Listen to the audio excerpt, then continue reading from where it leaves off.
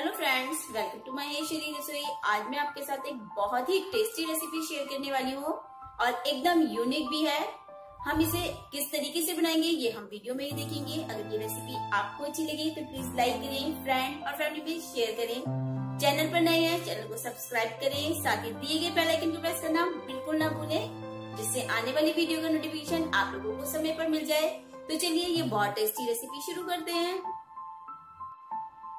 बिना मैदा और बिना आटे के ही बहुत ही टेस्टी और एकदम खस्ता करारी पूरी बनाने के लिए मैंने ली है ये नॉर्मल सूजी इसे अच्छे से छान लेंगे।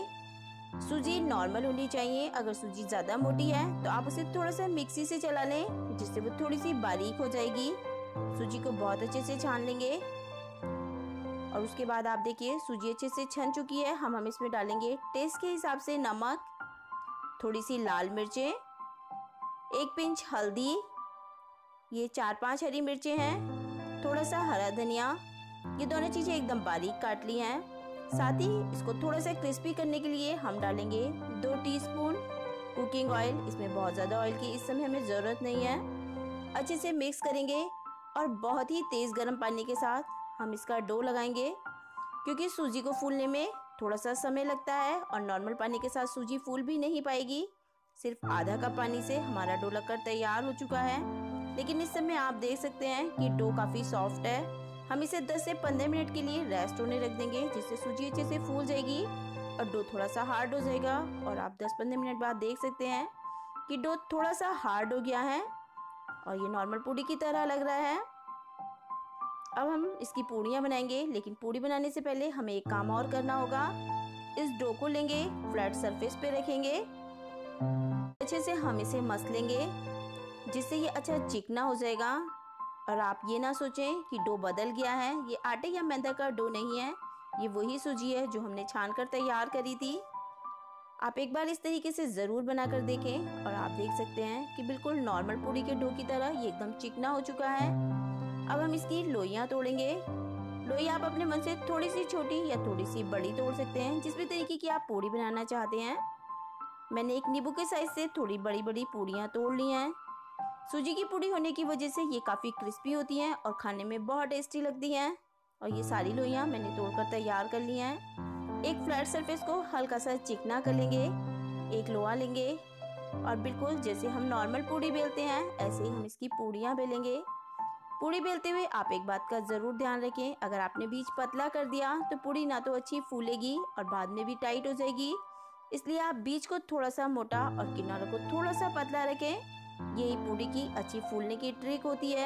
एक पूड़ी बिल्कुल तैयार हो चुकी है। एक और बेल लेते हैं। एक और पेड़ा लेंगे। और बिल्कुल जैसे हमने पहली पूड़ी बेली थी, बिल्कुल उसी तरीके से हम दूसरी पूड़ी भी बेल लेंगे।